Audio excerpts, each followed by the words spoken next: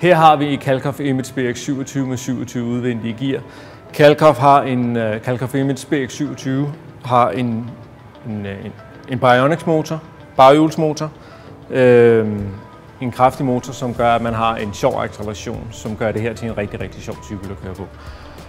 BX27 kommer med skivebremser på, og med, med, med fint LCD-display, øh, og har 6,6 ampere batteri, øh, hvilket kan give en rækkevidde op til 60 km.